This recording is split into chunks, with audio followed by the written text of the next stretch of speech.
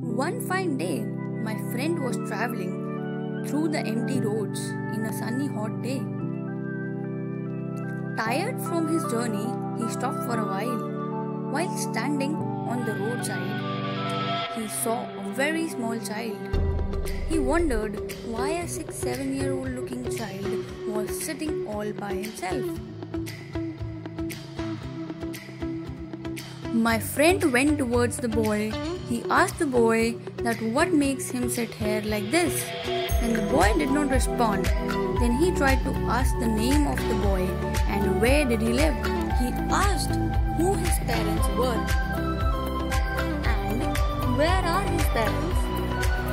What makes him stay here alone like this? To every question, the boy responded with some gestures that my friend could not understand.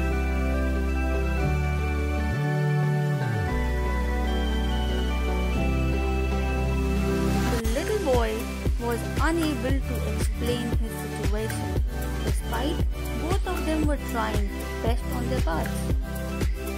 After this, my friend called the policeman. The policemen again were unable to understand what the child wanted to say. Police then took the child to navigate him to his parents. This circumstance was disheartening. Somebody who wanted help could not express his need. Basic communication lacked. The basic need of humanity to survive lacked. After this incident, one can move ahead in life, keeping our head to our work. But I am proud that my friend took a step forward for a better tomorrow. He chose to learn sign language.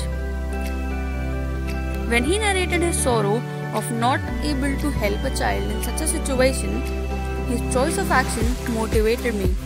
I learned ASL American Sign Language few years back out of curiosity.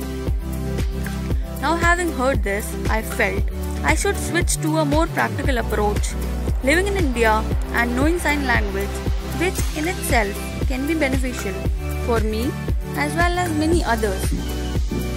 Therefore, I switched to ISL, Indian Sign Language. The purpose of this page Knowledge becomes fun and easy using graphics, which makes it even more effective, benefiting us and them together. Learning artistically at the rate streaming graphics.